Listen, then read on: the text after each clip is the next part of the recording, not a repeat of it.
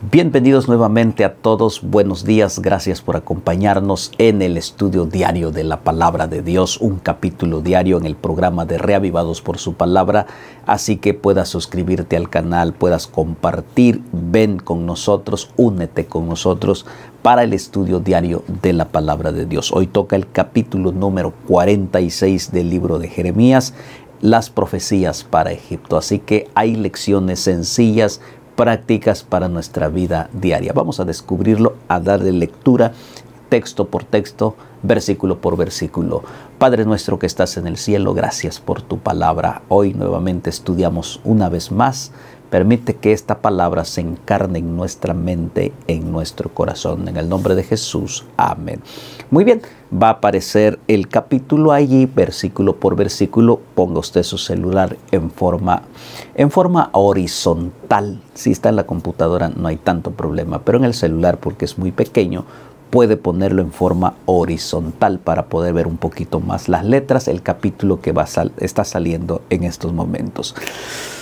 Capítulo 46, versículo 1 dice, palabra de Jehová que vino al profeta Jeremías contra las naciones. Siempre hay un mensaje, siempre hay una palabra, no solo para Baruch como el día de ayer, sino para todo pueblo, nación, tribu que exista en este planeta. Hay un mensaje para todos, así como fue este mensaje en su momento fue para todas las naciones. Este mensaje es para todas las naciones. Versículo 2. Con respecto a Egipto, ustedes recuerdan que algunos se fueron a Egipto a refugiarse en Egipto. Entonces, miren, en lugar de refugiarse con Dios, se fueron a Egipto. Allí pensando encontrar, dice, aquí no hay guerra, aquí hay tranquilidad, aquí hay paz. Dice, con respecto a Egipto contra el ejército del faraón Necao, rey de Egipto, que estaba cerca del, del río Éufrates, en Carquemis, a quien destruyó Nabucodonosor, rey de Babilonia, en el año cuarto de Joacim, hijo de Josías, rey de Judá. Versículo 3. Preparad escudo y pavés y venid a la guerra. Versículo 4. Uncid caballos y subid vosotros los jinetes y poneos con yelmos, limpiad las lanzas, vestíos las corazas. Versículo 5. Porque los vi medrosos retrocediendo sus valientes fueron deshechos y huyeron sin volver a mirar atrás. Dice, miedo de todas partes, dice Jehová, la profecía para, Egipto, te sientes fuerte, pero cuando llegue el momento de Jehová de los ejércitos, allí este hasta el valiente gritará. Versículo 6. No huya ligero ni el valiente escape, al norte junto a la ribera del Éufrates tropezaron y cayeron si huimos, huimos delante de Jehová, tarde o temprano vamos a tropezar y vamos a caer. No podemos entonces por nuestras propias fuerzas eh, salir victoriosos. Versículo 3. ¿Quién es este que sube como río y cuyas aguas se mueven como ríos? Versículo 8. Egipto como río se ensancha y las aguas se mueven como ríos, dijo.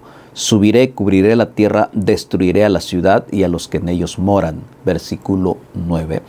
Subid caballos y alborotaos carros, y salgan los valientes, los etíopes y los de Put, que toman escudo, y los de Lut, que toman y entensan arco. Versículo 10.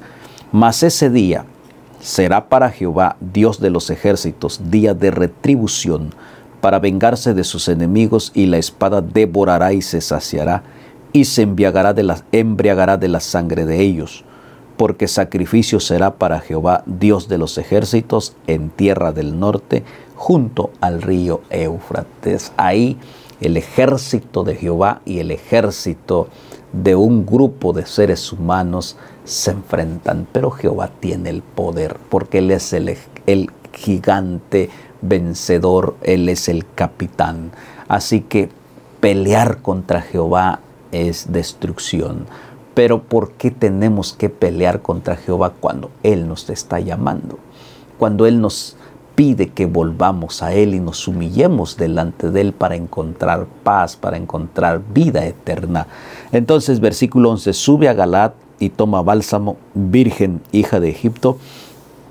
Por demás multiplicarás tus las, las medicinas, no hay curación para ti. Versículo 12, las naciones oyeron tu afrenta y tu clamor llenó la tierra porque valiente tropezó contra valiente y cayeron ambos juntos.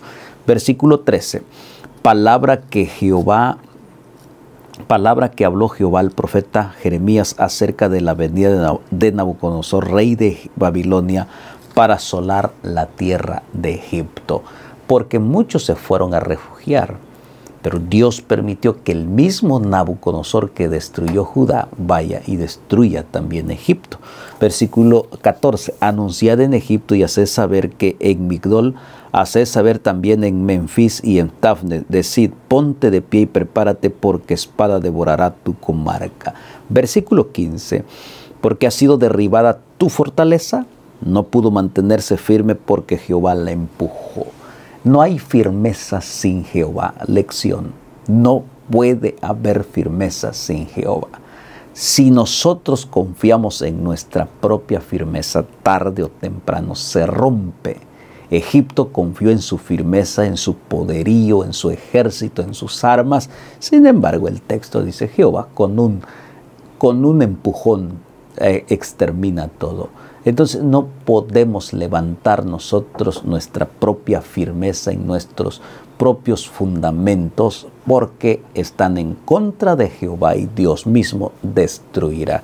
Y entonces versículo 16, multiplicó los caídos y cada uno cayó sobre su compañero y dijeron, levántate y volvamos a nuestro pueblo y a la tierra de nuestro nacimiento, huyamos ante la espada vencedora de Jehová cuando Dios marcha al frente, victoria segura para sus hijos. Versículo 17.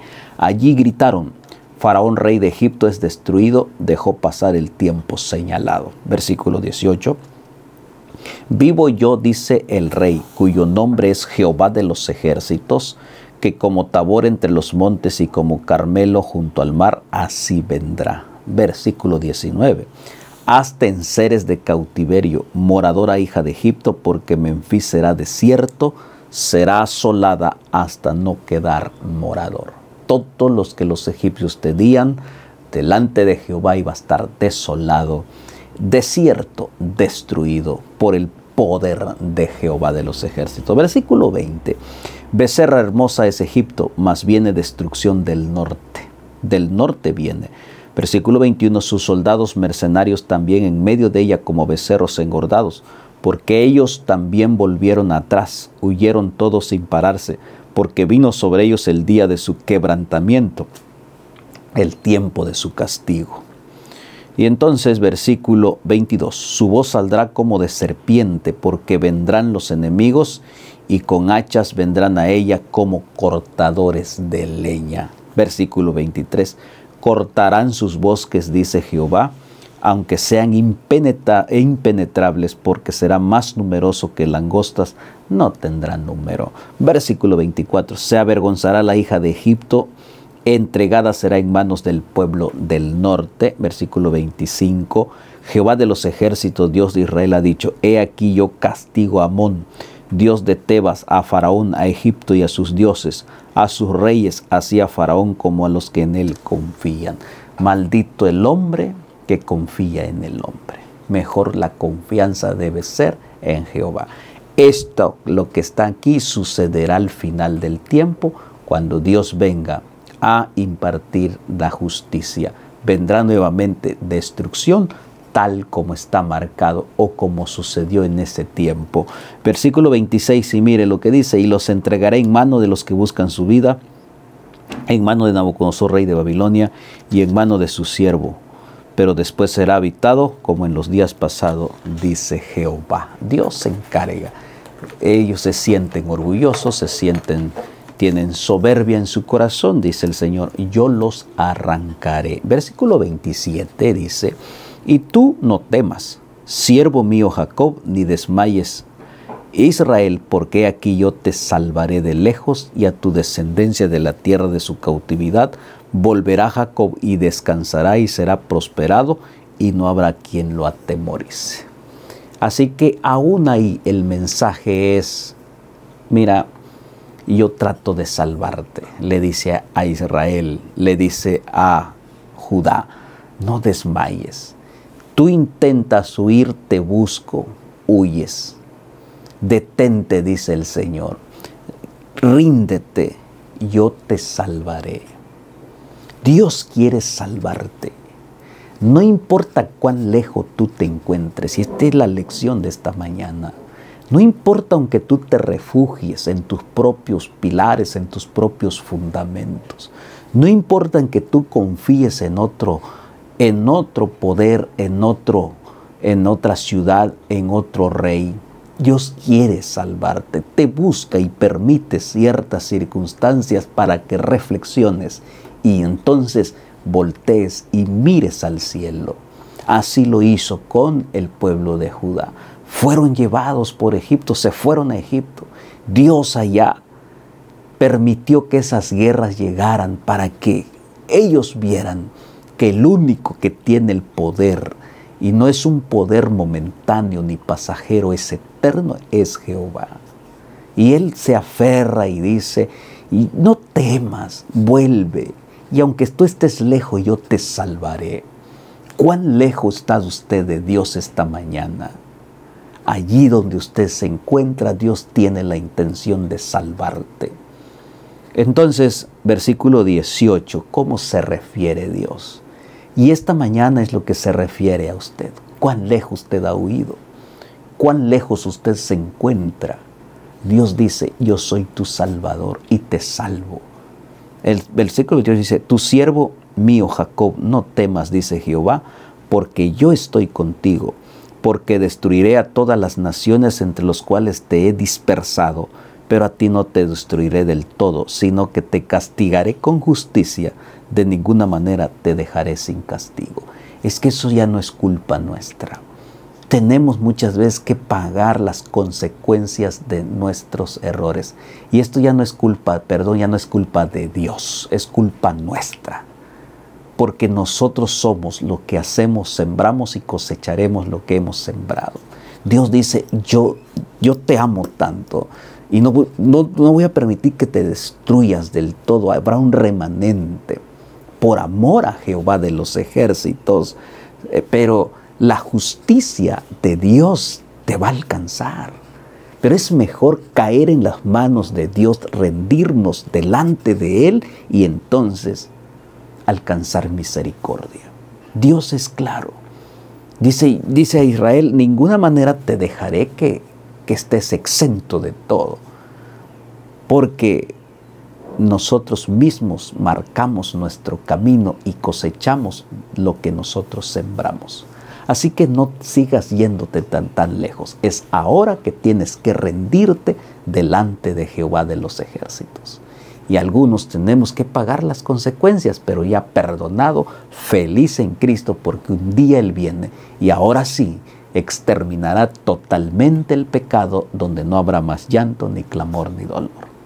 Qué mensaje de esta mañana a través de este capítulo, mensaje de misericordia, de perdón de restauración para tu vida. Jehová te bendiga y te guarde. Jehová haga, Jehová haga resplandecer su rostro sobre ti y tenga de ti misericordia. Jehová alce sobre ti su rostro y ponga en ti paz. Padre, gracias por tu misericordia tan grande y tan hermosa. Ayúdanos a rendirnos delante de ti. En el nombre de Jesús. Amén. Nos vemos mañana. Suscríbase al canal, no se le olvide.